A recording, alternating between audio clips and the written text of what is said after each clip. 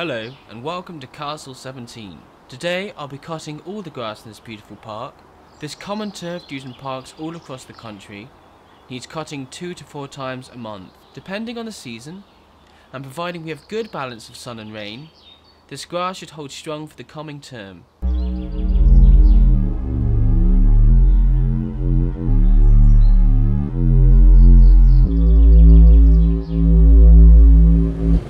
What do you expect from this performance today? I expect he'll continue his strong form. He does have a very good record here, Yes, we know his ability. He started nicely, tearing down that far side. and that's a difficult one considering the surface today. He just needs to make sure he can maintain his speed.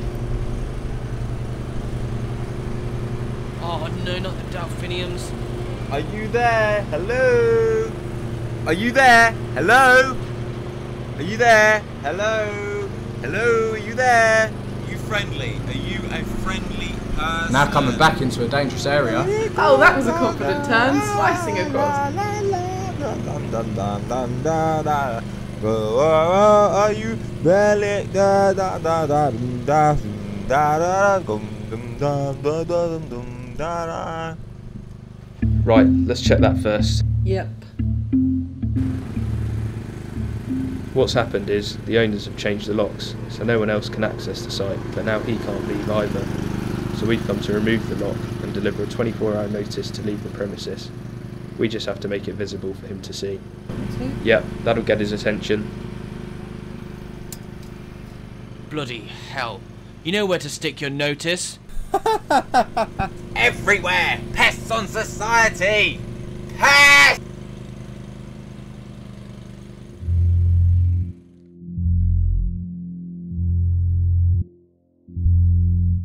Alright, we'll just get on with the lock. Hopefully it'll be gone by the time we come back. Just needs Quick, to be careful run, on this run, corner. run, run, run. We now have a problem here because a man has just invaded the pitch. You may have just seen to the left of your screens. Lovely oh, soft cut Yes, grass. we'd better wait for Lovely this idiot. grass. We've had this problem before. This is something the relevant bodies have to deal with. This really isn't what we wanted today. Considering the support from the fans, it would be a shame for this to spoil it. I can't see how we're going to be able to continue. I'm taking this sodding mirror with me.